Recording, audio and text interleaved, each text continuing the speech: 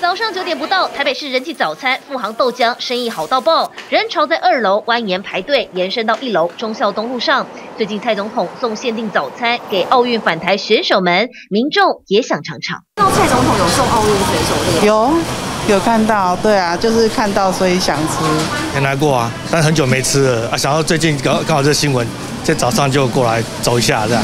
不过满满人潮，排队得等一个半小时。人气名店疫情期风险高，尽管疫情警戒降级，但是否开放内用？柯文哲说还要观察周末状况，而民众倒是有不同看法。生命还是重要啊，还是不要内用的比较好，因为这个病毒实在太厉害。我如果有条件的开放，我觉得是还不错。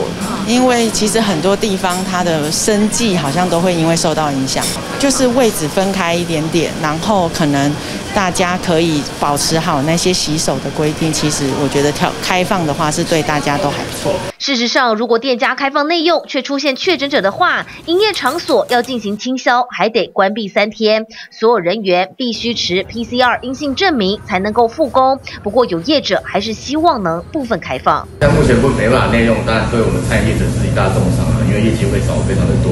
所以我们是希望内用开放是局部开放内用的，不要全面开放，因为疫情好容易稳定一点，那要局部开放内用，然后要有防疫的措施，那。所以客人也会安心。嘉义因为发生群聚，立刻就改为禁止内用。饮食内用是否解封，双北还在讨论中，不想因为一时松懈造成防疫破口。TVBS 新闻庄全神讲报道，请订阅、按赞、分享 TVBS News 频道，并开启小铃铛，也请用手机下载 TVBS 新闻 App，随时掌握国内外大事。